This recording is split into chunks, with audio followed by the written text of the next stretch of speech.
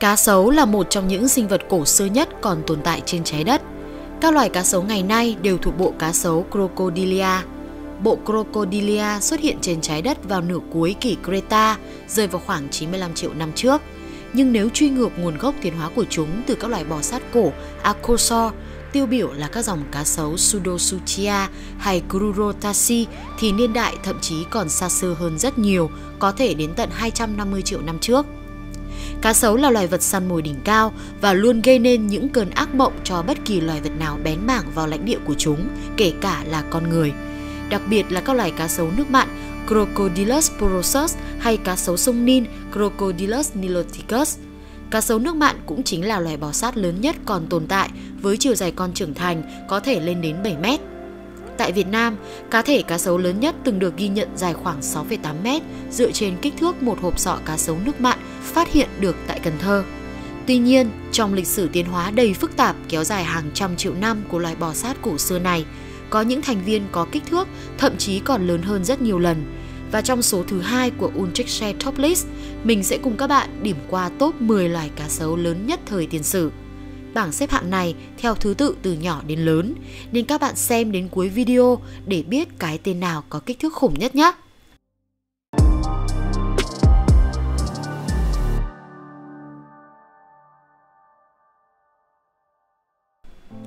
Trước khi bước vào video, mình có một thông báo nho nhỏ gửi đến các bạn.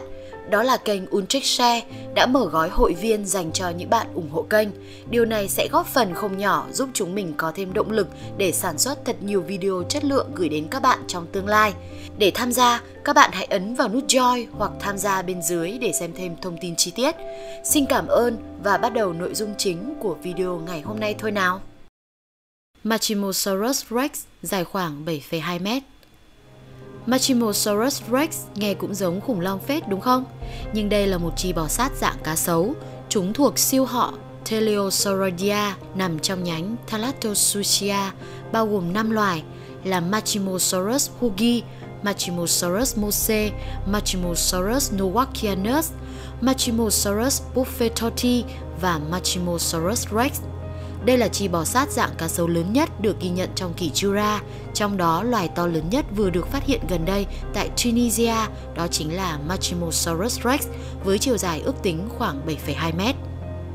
Các Machimosaurus là chi bò sát dạng cá sấu, sống trong môi trường nước biển.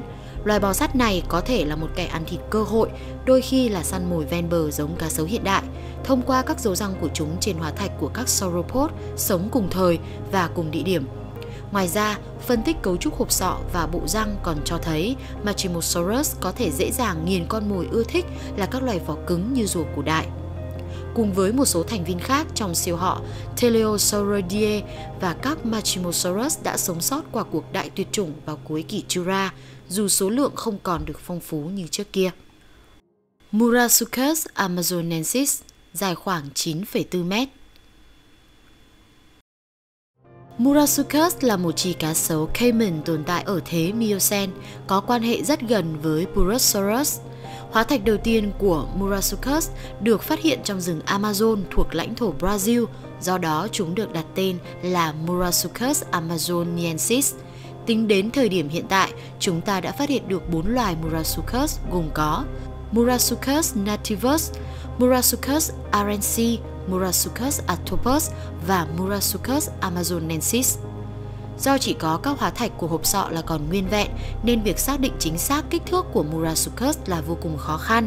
Dựa trên tỷ lệ đầu và thân của các loài cá sấu mõm ngắn, họ hàng gần nhất còn tồn tại đến nay của các chỉ cá sấu này. Tác giả Sidade và Cộng sự đã đưa ra con số ước tính chiều dài trung bình của loài nhỏ nhất đó chính là Matopus dài khoảng 6,3 m và lớn nhất là Murasuchus amazonensis dài 9,47 m.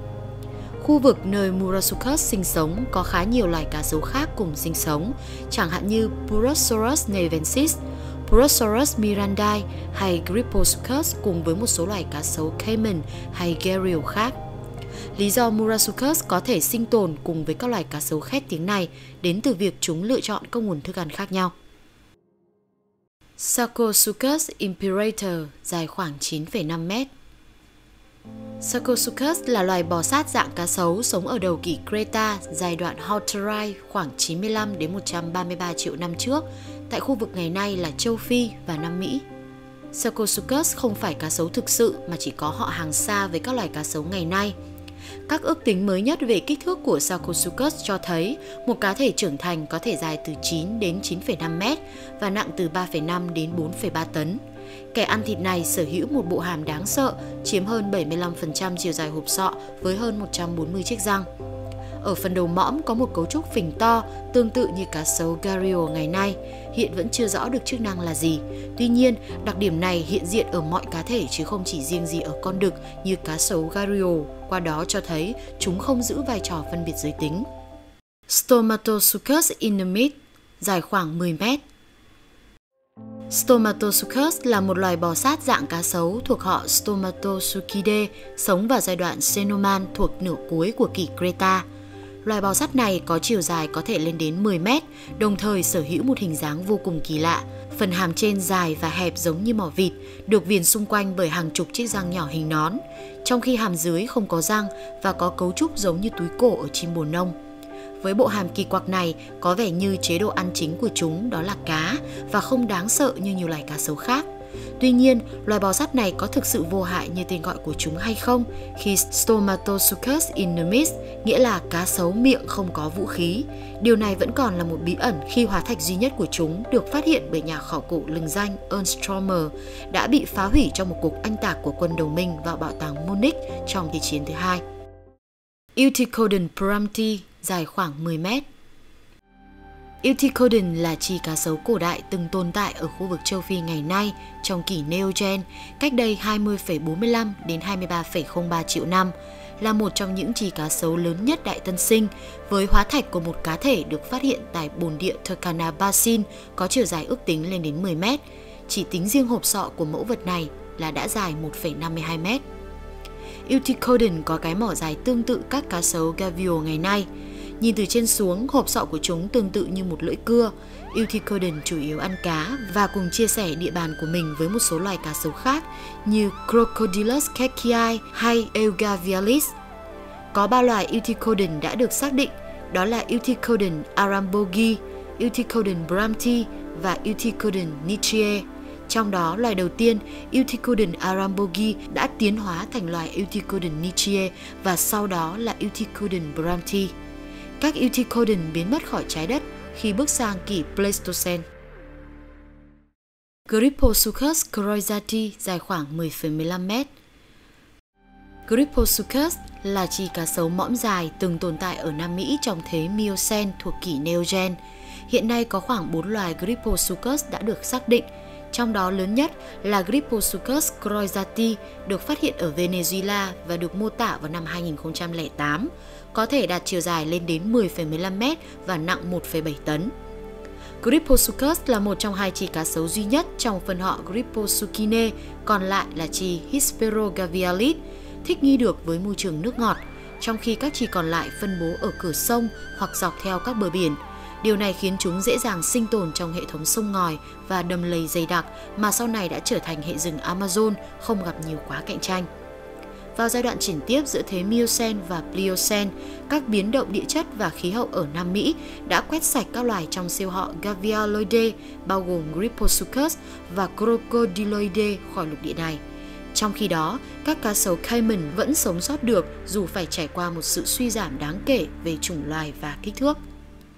Ramphosuchus graccidens dài khoảng 8 đến 11 mét, Ramphosuchus là một chi cá sấu mõm dài cổ đại sống ở thế Miocene với một loài duy nhất, đó chính là Ramphosuchus graccidens. Các hóa thạch của chúng được phát hiện tại một số nơi ở Pakistan và Ấn Độ, chủ yếu gồm các mảnh sọ và răng. Trước đây, Ramphosuchus được xem là loài cá sấu cổ đại dài nhất với chiều dài ước tính vào khoảng 15 đến 18 mét. Tuy nhiên, các nghiên cứu gần đây đã bác bỏ ý kiến này và cho thấy kích thước thực tế của chúng chỉ vào khoảng 8 đến 11 mét. Giống như những người họ hàng còn sống của mình, có lẽ cá là loài thức ăn chính của Ramphosuchus. Tuy nhiên, để nuôi sống cơ thể với kích thước khổng lồ này thì chế độ ăn của các loài cá sấu cổ đại phải phong phú hơn rất nhiều, không loại trừ khả năng chúng cũng săn các loài động vật khác ven bờ. Agisuchus whitmeri dài khoảng 9 đến 11 mét. Agisuchus là một loài cá sấu đầu dẹt sống vào giai đoạn Cenoman cuối kỷ Creta. Cái tên của loài bò sát dạng cá sấu này xuất phát từ hình dạng hộp sọ giống cái khiên. Dựa vào một số ít hóa thạch thu được, bao gồm một số mảnh sọ, các nhà khoa học cho rằng toàn bộ hộp sọ của Aegisuchus có thể dài từ 2,08 đến 2,86 mét. Đối chiếu với tỷ lệ cơ thể của cá sấu mõm dài Gario, một cá thể Aegisuchus có thể dài từ 15 đến 21 mét hoặc từ 16 đến 22 mét nếu dựa theo tỷ lệ của các loài cá sấu mõm ngắn. Các con số này đã gây nên rất nhiều tranh cãi và có lẽ kích thước thực sự của loài bò sát này không vượt quá 15 mét. Agisuchus là kẻ săn mồi mai phục trên những con sông và đầm lầy của hệ tầng Kem Kem. Tập địa chất này ngày nay thuộc Morocco và được mệnh danh là một trong những khu vực nguy hiểm nhất trong lịch sử tự nhiên trái đất khi cùng chia sẻ lãnh địa với Agisuchus, đó chính là những loài khủng long ăn thịt khét tiếng như Carcharodontosaurus và Spinosaurus. Dinosuchus hatcheri dài khoảng 9 đến 11 mét. Siêu cá sấu Dinosuchus Số ở vùng đất mà ngày nay là lãnh thổ Bắc Mỹ vào cuối kỷ Creta thực sự là một nơi vô cùng nguy hiểm, đặc biệt đối với các động vật nhỏ hay các loài ăn thực vật. Kẻ ăn thịt khổng lồ này sống cách đây từ 73 đến 82 triệu năm và thống trị các vùng nước ven bờ của khu vực Bắc Mỹ ngày nay. Các hóa thạch của chúng đã được tìm thấy ở hơn 10 tiểu bang, cả ở bờ Tây và bờ Đông. Trong khi quần thể Dinosuchus ở bờ Đông có số lượng đông đảo hơn, thì các cá thể sinh sống ở phía Tây lại có kích thước vượt trội. Dựa theo khu vực sinh sống, các nhà khảo cổ cũng phân chia cá sấu này thành hai loài. Dinosuchus hatcheri ở phía Tây thuộc lục địa Laramidia và Dinosuchus rugosus ở lục địa Appalachia. Dinosuchus là họ hàng gần gũi của cá sấu mõm ngắn nên nhìn chung không có nhiều khác biệt về hình dạng, chỉ có kích thước to hơn nhiều lần, có thể lên đến 12 mét. Tuổi thọ của Dinosuchus có thể lên đến 50 năm, dài hơn rất nhiều so với các loài cá sấu hiện đại. Dinosuchus là kẻ săn mồi đầu bảng ở khu vực chúng sinh sống, đặc biệt là ở bờ đông Bắc Mỹ, nơi không có nhiều loài ăn thịt đạt đến kích thước của chúng. Giống như các hậu duệ của mình, Dinosuchus cũng mai phục ở ven bờ và chờ cơ hội để bắt và dìm chết con mồi dưới nước bằng những bộ hàm khổng lồ. Các dấu tích trên hóa thạch của một số loài khủng long bạo chúa cũng cho thấy chúng có thể sẽ trở thành nạn nhân của gã phàm ăn khổng lồ này. Purosaurus brasiliensis dài khoảng 10,3 đến 12,5 mét. Top 1 về kích thước trong giới cá sấu tiền sử sẽ gọi tên Purosaurus brasiliensis. Đây là chỉ cá sấu caiman lớn nhất từng tồn tại, với ba loài đã được xác định, đó chính là Purosaurus brasiliensis, Purosaurus neovensis và Purosaurus mirandai. Hóa thạch của chỉ cá sấu khổng lồ này được tìm thấy rải rác ở nhiều nơi trên khắp Nam Mỹ và đều có niên đại thuộc thế Miocene. Trong đó, mẫu vật lớn nhất là một hộp sọ của một cá thể Purosaurus brasiliensis dài đến 1,45 mét. Tuy nhiên, do chỉ có hộp sọ được phát hiện nên chỉ có thể ước tính rằng Purosaurus brasiliensis dài từ 10,3 đến 12,5 mét và nặng từ 5,16 đến 8,4 tấn sở hữu kích thước khổng lồ kèm theo một lực cắn có thể lên đến 52.500 Newton, thậm chí có thể đến 69.000 Newton. Purosaurus không có thiên địch trong môi trường sống của chúng. Để có thể nuôi dưỡng cơ thể khổng lồ đến như vậy, mỗi cá thể có thể phải cần đến một lượng thức ăn trung bình khoảng 40,6 kg trên mỗi ngày. Tuy nhiên, kích thước cơ thể khổng lồ cũng đã là một nhược điểm chí mạng của chi cá sấu này khi chúng vô cùng nhạy cảm với sự thay đổi của môi trường. Đó là lý do tại sao loài cá sấu này đã biến mất hoàn toàn khỏi lịch sử, nhường chỗ cho các họ hàng nhỏ và dễ thích nghi hơn.